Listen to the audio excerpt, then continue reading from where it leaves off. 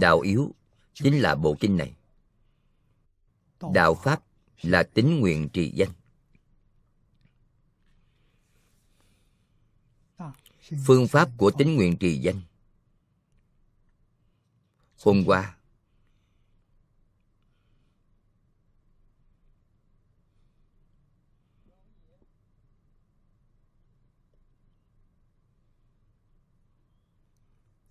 pháp sư từ liệu đã có một lời giải thích bổ sung. Nói rất hay. Thầy ấy chỉ nói hai câu của bồ tát đại thế chí. Nhiếp cả sáu căn tịnh niệm liên tục. Đó là đạo yếu. Thực hiện trong mười niệm.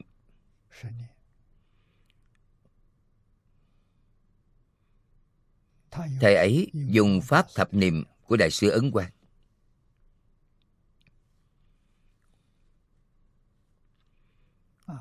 Đại sư ấn quang niệm đến nhất tâm bất loạn là dùng phương pháp này.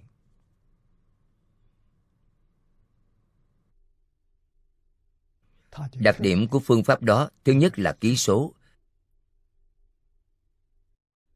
Thứ hai là phản văn.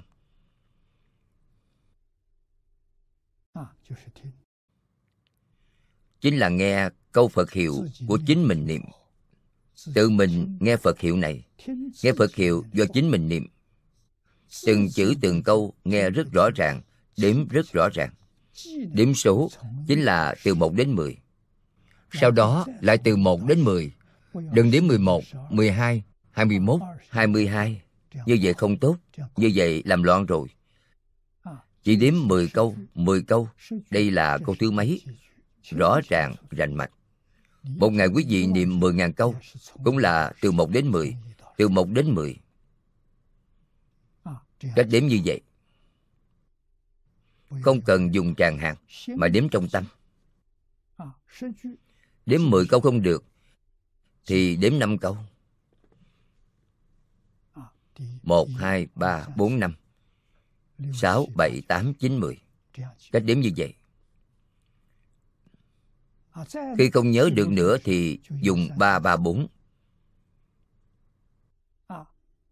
1, 2, 3 4, 5, 6 7, 8, 9, 10 Đếm rất rõ ràng. Nghe rất rõ ràng. Vậy thì đúng rồi. Giá lại đặc biệt chủ trương niệm thầm. Không nên niệm ra tiếng. Không nên niệm ra tiếng, Nhưng có tiếng không? Có. Mà người khác không biết, Chính mình biết. Tai của chính mình. Tập trung năng lượng này Hướng vào trong để nghe. Nghe tiếng niệm Phật của chính mình. Không nên nghe bên ngoài sau khi tập trung ý niệm, thì không nghe thấy âm thanh bên ngoài. Tại sao vậy? Bởi quý vị không có sức chú ý vào đó. Chúng ta thường nói chú ý. Chú ý có nghĩa là gì? Mắt thấy sắc, chú ý nhìn. Ý là ý thức. Ý thức là phân biệt. Thứ thứ sáu là phân biệt. Thứ thứ bảy là chấp trước. Chú ý chính là tập trung vào ý thức thứ sáu để phân biệt đặt thức mạt na vào để chấp trước.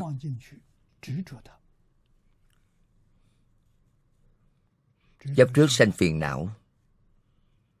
Tham sân si mạng nghi là chấp trước.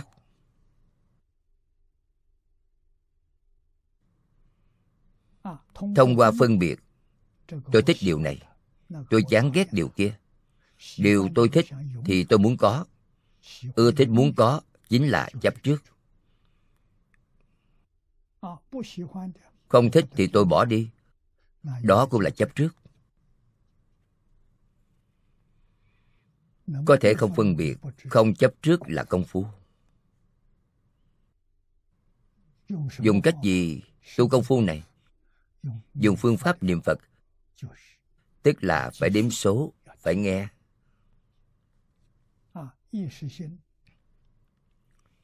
phạm vi hoạt động của tâm ý thức vô cùng lớn. Tần số rất cao, thật không dễ gì khống chế. Quản lý tốt câu phật hiệu này, làm cho tập trung lại chuyên môn, nghe tiếng niệm phật hiệu của chính mình.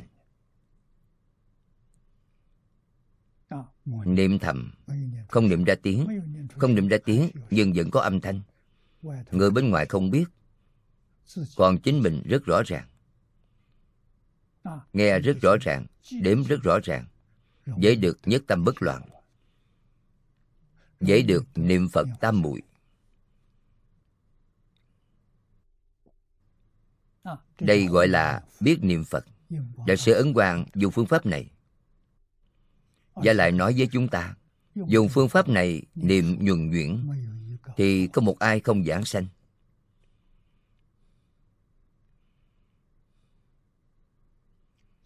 Tập trung ý niệm, nghe tiếng niệm phật của chính mình. Đây gọi là phản văn văn tự tánh. Tánh thành vô thượng đạo. Là pháp môn tu của bồ tát quán thế âm. Niệm phật tam muội. Điều này vô cùng quan trọng.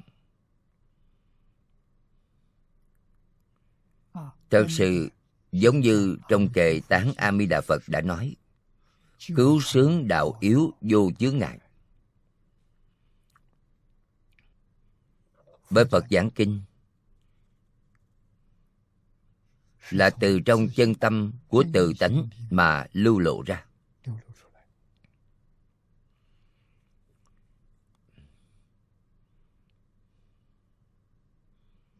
Thế vì sao chúng ta nghe không hiểu?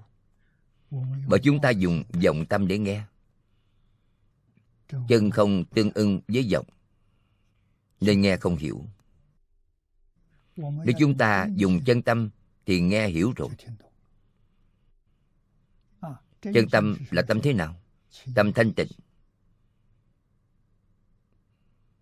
Không có ô nhiễm.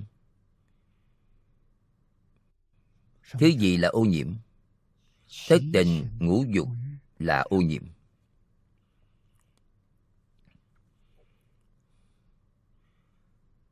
Chúng ta dùng tâm gì? tâm của hỷ nộ ai lạc?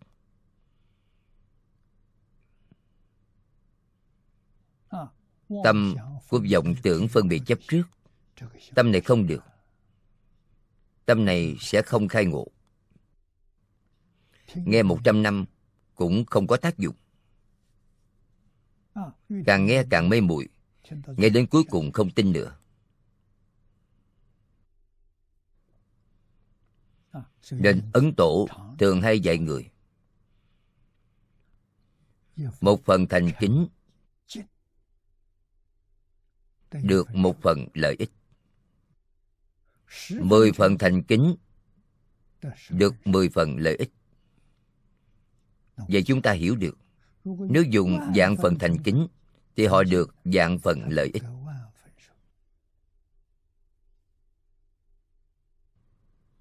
Quay trở lại nghĩ xem người hiện tại, bao gồm chính chúng ta.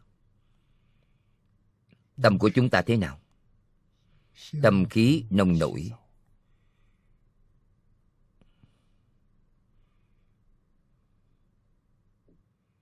Tâm vọng tưởng từ sớm đến tối, vọng niệm không dừng nghỉ.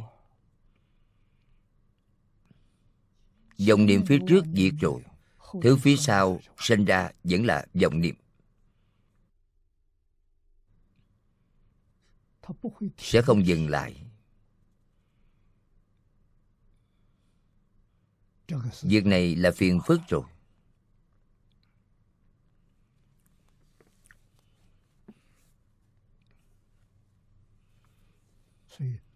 Vì vậy, bài báo cáo đó của thầy tự liệu rất có giá trị.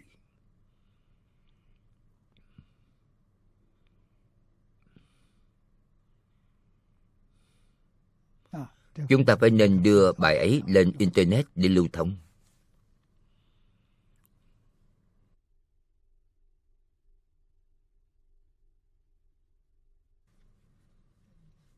Thật sự, có người xem hiểu thật sự có người phát tâm.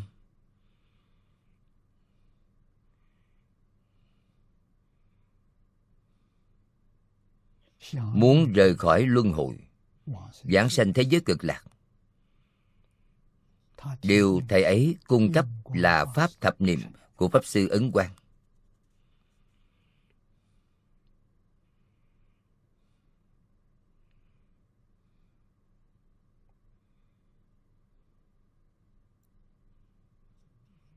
còn nguyên tắc chung là lời của bồ tát đại thế chí nói đô nhiếp lục căn tịnh niệm tương kế.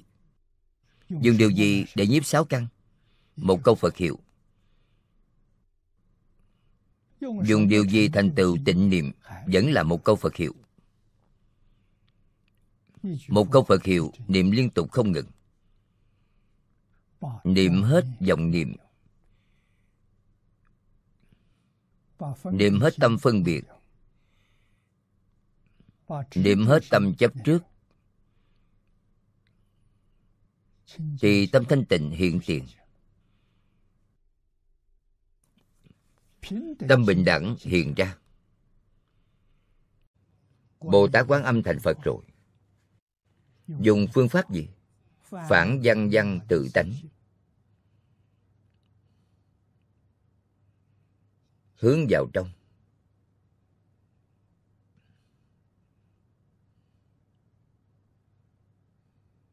Ngài dùng nhĩ căn. Chúng ta dùng nhãn căn có được không? Được. Nhãn căn cũng phải hướng vào trong để nhìn, không nên hướng ra bên ngoài nhìn. Hướng vào bên trong là kiến tánh rồi. Tai mũi lưỡi thân ý cũng lại như thế. Tất cả phải hướng vào trong. Hướng vào trong là tự tánh.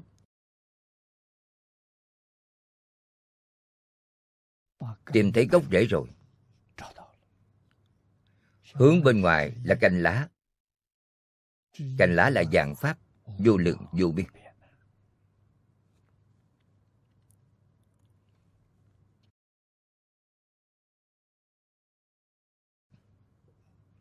Cách phản văn này của bồ tát quán thế âm rất đáng được chúng ta suy nghĩ sâu xa.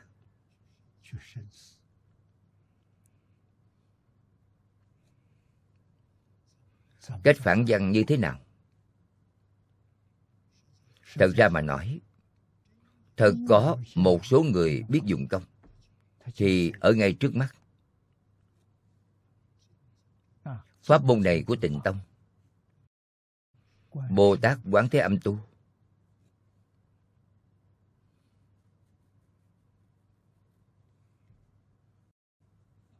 Cách tu thế nào?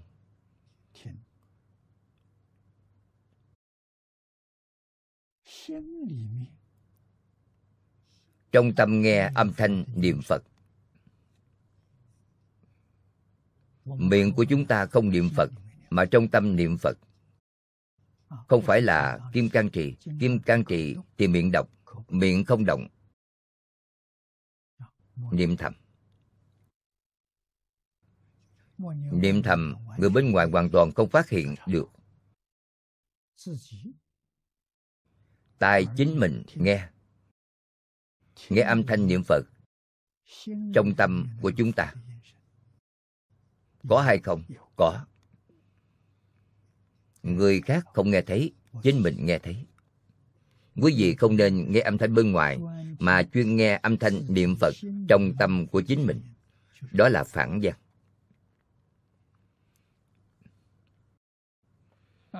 nghe đến công phu như thế nào? Không bị âm thanh bên ngoài quấy nhiều. Bên ngoài bất kể đó là âm thanh gì, cũng không nghe thấy. Chỉ nghe thấy âm thanh niệm phật.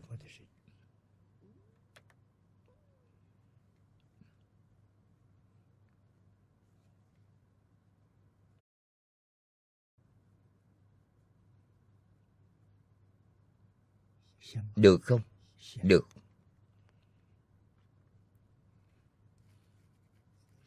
Trong kinh Phật có câu chuyện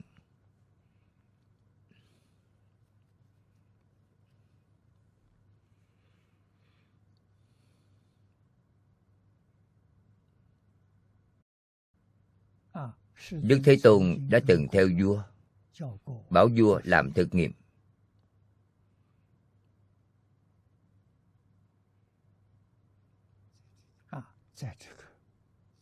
Trong những hoạt động thật náo nhiệt ấy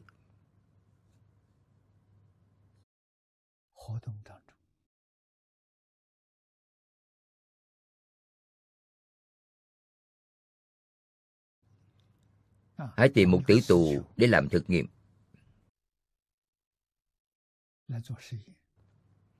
Bảo tử tù đó đội một chậu nước lên trên đầu nói với ông ta rằng, từ đầu đường này đến cuối đường, có thể không làm rơi ra một giọt nước nào. Thì sẽ đặc xá ông vô tội và thả ông ra. Nếu rơi một giọt xuống, thì thi hành chém đầu ngay.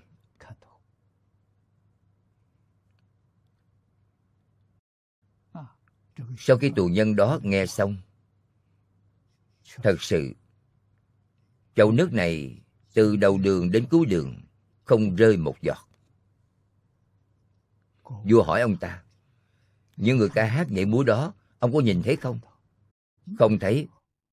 Có nghe thấy không? Không nghe thấy. Vì sao không nghe thấy? Tâm của tôi chỉ nghĩ đến nước. Không thể rơi xuống một giọt.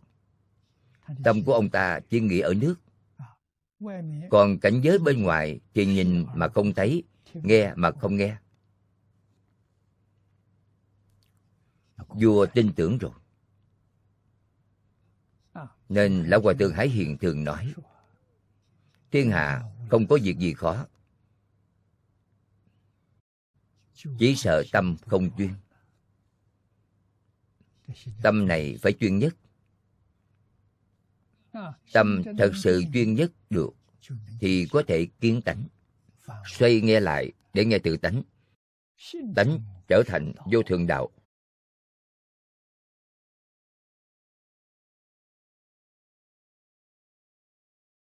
Chuyên chú công phu của chúng ta chưa đắc lực. Nguyên nhân ở đâu? Không chuyên chú chúng ta là dùng tâm tán loạn khi niệm phật. Tâm tán loạn khi nghe pháp.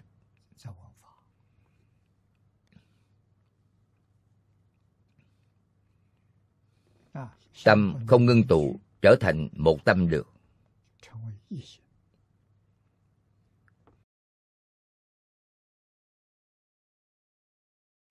Trong kinh văn, nói đến phương pháp tu hành, chỉ có tám chữ. Phát bồ đề tâm nhất hướng chuyên niệm.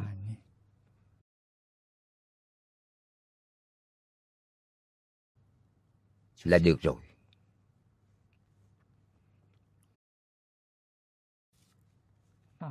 Tịnh tông dạy chúng ta chuyên niệm a di đà phật.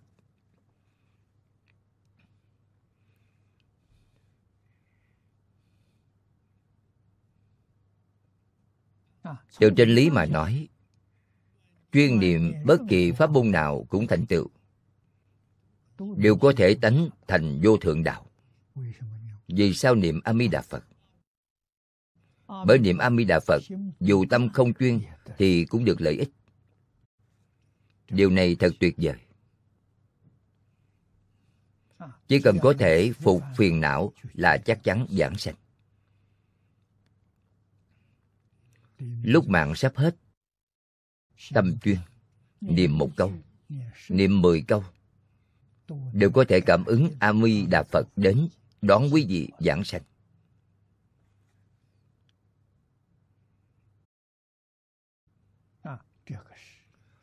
Điều này thì trong vô lượng pháp môn không có. Đây chính là nói rõ vì sao dạy chúng ta niệm A-mi đà phật. Nếu niệm thứ khác, thật sự là niệm đến nhất tâm. Chuyên chú là nhất tâm. Nhất định không có tạp niệm, không có vọng tưởng.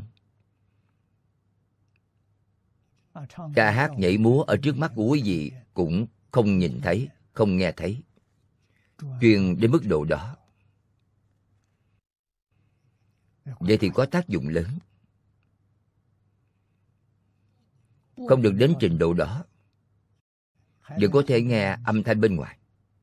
Vẫn có thể nhìn sắc tướng bên ngoài. Nhưng trong tâm câu phật hiệu này không gián đoạn. Đó là đới nghiệp giảng sanh. Đới nghiệp giảng sanh chỉ có một môn của tịnh tông tìm không thấy trong 84.000 pháp môn. Cũng tìm không ra trong vô lượng pháp môn. Chúng ta phải biết đạo lý này.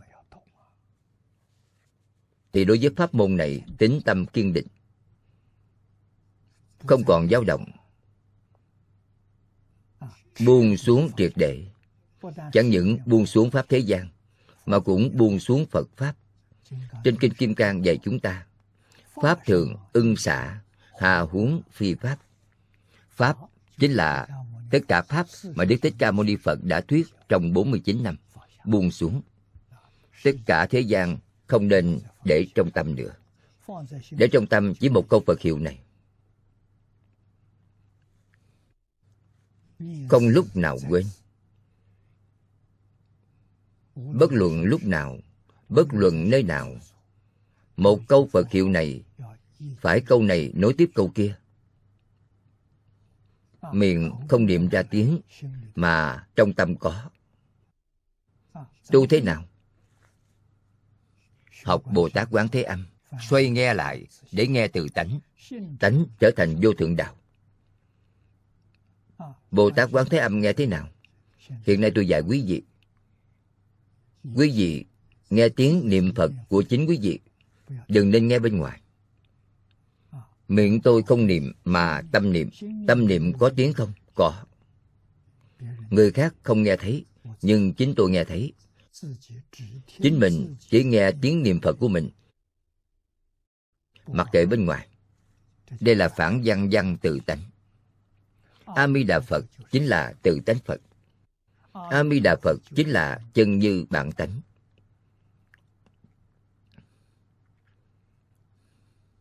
Quý vị tu thành công chắc chắn được trí huệ. Thầm niệm trong lòng, nghe trong tâm. Cách nghe này chính là cách phản văn văn tự tánh của quan thế âm bồ tát. Tính nguyện trì danh. Đơn giản, chỉ là một câu a di đà phật này. Phải thường niệm mọi lúc mọi nơi. Đừng gián đoạn.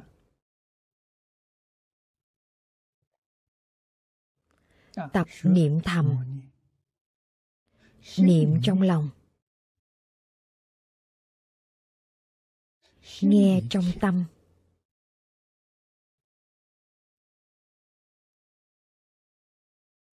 Đừng niệm nhanh a di đà phật. Tốc độ như vậy là được. Mỗi một chữ niệm cho thật rõ ràng. Nghe cho thật rõ ràng. Nghe như thế nào, tai phải nghe âm thanh bên trong. Không mở miệng niệm. Niệm thầm có âm thanh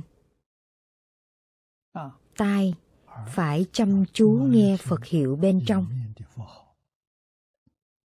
Nghe cho rõ rõ ràng ràng. Niệm cho rõ ràng. Nghe cho rõ ràng. quan trọng hơn bất cứ thứ gì. Bạn có thể nghe rõ ràng từng chữ một thì sẽ không có vọng niệm xen vào nếu mà bạn không nghe thì liền có vọng tưởng có tạp niệm sẽ phá vỡ hết công phu niệm phật của bạn đi vì thế nhất định phải nghe cách nghe này chính là phương pháp tu hành của Quan Thế Âm Bồ Tát. Quan Âm dùng nhĩ căn, phản văn văn tự tánh, Ngài chẳng phải nghe bên ngoài, mà Ngài nghe từ bên trong.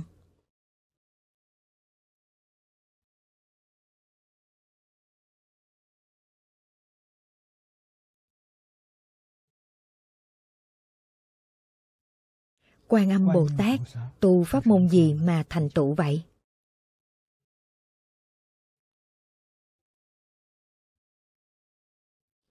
Chắc hẳn cũng là tu niệm A Di Đà Phật mà thành tựu đấy.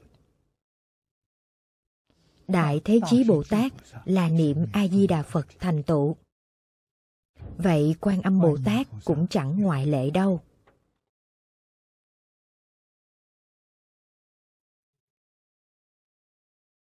Ngày nay chúng ta đem phương pháp của quan âm, thế chí hợp lại thành một.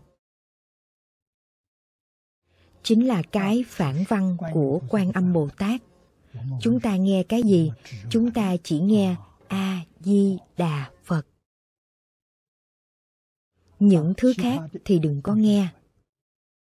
Cũng tức là những thứ khác đều đừng để trong lòng trong lòng chỉ để a di đà phật. Những thứ ngoài a di đà phật ra đều không để trong tâm. có công việc tới ta rất rõ ràng. Công việc làm xong rồi. Coi như không có việc ấy nữa. Tuyệt đối chẳng để những chuyện ấy trong lòng chỉ để a di đà phật trong tâm mà thôi. Được vậy, bạn ở trên thế gian này, bất luận làm công việc gì, đều chẳng có chướng ngại. Lão hòa thượng hải hiền đã vì chúng ta biểu diễn trong sinh hoạt phật hiệu không gián đoạn.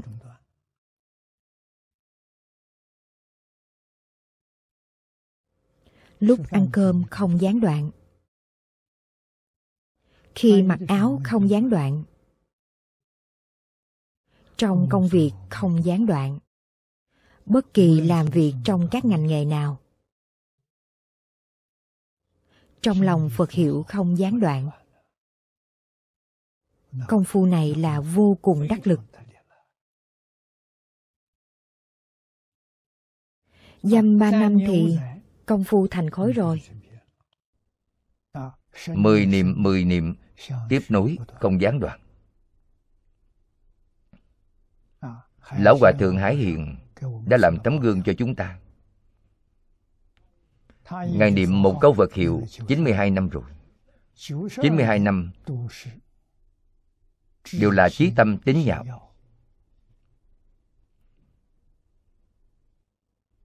đầy đủ 10 niệm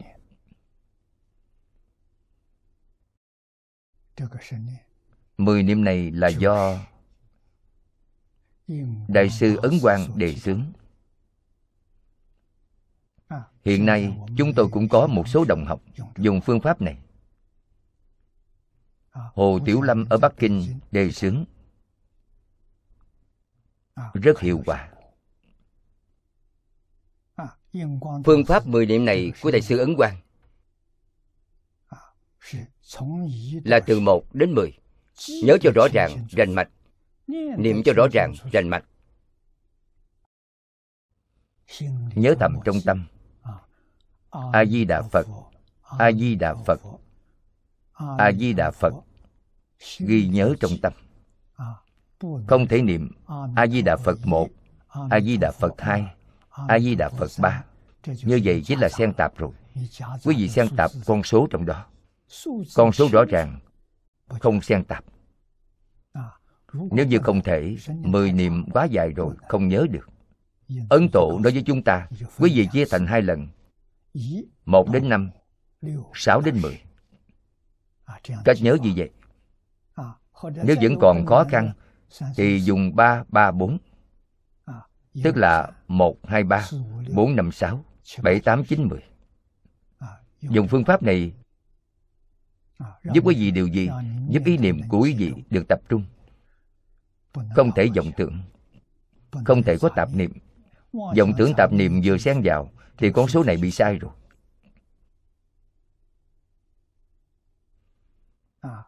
Nhớ thầm nhớ cho rõ ràng rành mạch. Nhớ đến 10 là được rồi. lại từ 1 đến 10 từ 1 đến 10 cứ niệm như vậy đừng niệm 10 câu. Rồi sau đó là niệm đến 20, 30, 40 không dùng phương pháp này. Phương pháp này rất phí sức. Rất dễ niệm sai.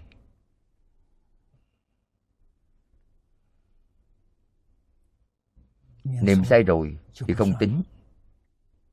Phải bắt đầu lại từ đầu. Cho nên tiêu chuẩn từ 1 đến 10 ấn tổ đề xướng phương pháp này. Chính ngài cũng dùng phương pháp này. Có căn cứ. Căn cứ chính là lời nguyện này. Đầy đủ 10 niệm chính là ý này. Vì vậy gọi là pháp thập niệm. Pháp thập niệm của ấn tổ là từ nguyện thứ 18 mà có. Chỉ cần bình thường, thật thà. Phương tiện đến mức độ này miên mật mà niệm. Một câu đối tiếp một câu mà niệm. Niệm bốn chữ tốt. Đại sư liên trì, tự mình niệm phật là niệm bốn chữ a di đà phật. A di đà phật. Một câu, nối tiếp một câu. Đừng gián đoạn.